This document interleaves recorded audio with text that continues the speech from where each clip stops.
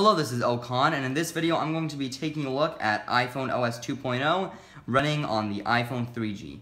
So recently I picked up an iPhone 3G, and as you can see here, it is indeed an iPhone 3G, like it has the, uh, the matte writing on the back instead of the silver one found on the 3GS. And if I turn it around, you can see the classic, you can see it is indeed running iPhone OS 2.0. If we go into General and About. Now this was the first version of iOS or iPhone OS to include the App Store, so for the first time users could download and install third-party applications natively onto their iPhones without the need of a jailbreak. In addition, it supported push email and Microsoft Exchange. So taking a look at the lock screen, you can see pretty much the classic iOS lock screen, double tap, take out the music control, slide to unlock, and you're in.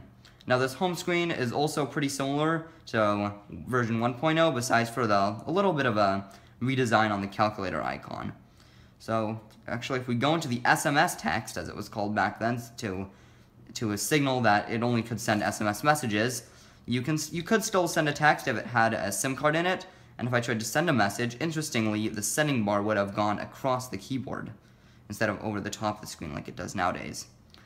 In addition, camera, obviously also still works with its amazing, I'm being sarcastic, 2 megapixel camera. And interestingly, it doesn't show a preview of the photo you took, it just shows these squares. And also has a little bit of a different UI there. And YouTube, it would work that's just the same as the iOS 5 YouTube app, although it's such an outdated piece of software, it no longer works, as is the iTunes Store. And the App Store, is it also should I don't believe it also, I don't believe it works. Nope, but as you can see, this is what it would have looked like. It would have had features, categories, top 25 search, and updates. And the settings app, actually if we go into that one more time, you can see the new option for fetch new data, which is actually in iOS 10 is buried all the way in the mail settings.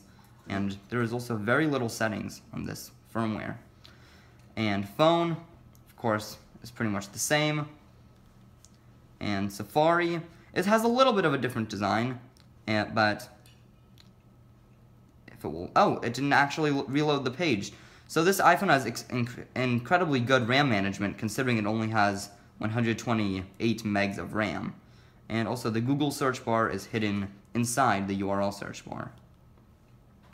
And going on to the second page, you can see the only two apps I were able I was actually able to put on this iPhone. These are all web links. And I had to go through my purchase history and I tried to, many apps, although none of them worked except these. And if I go into public radio, this should work. I actually haven't tried this yet. If it loads. And nope, not even that works. So that's that. And also this iPhone is jailbroken. So that's pretty much it for this video. Please like and subscribe if you liked it, and bye.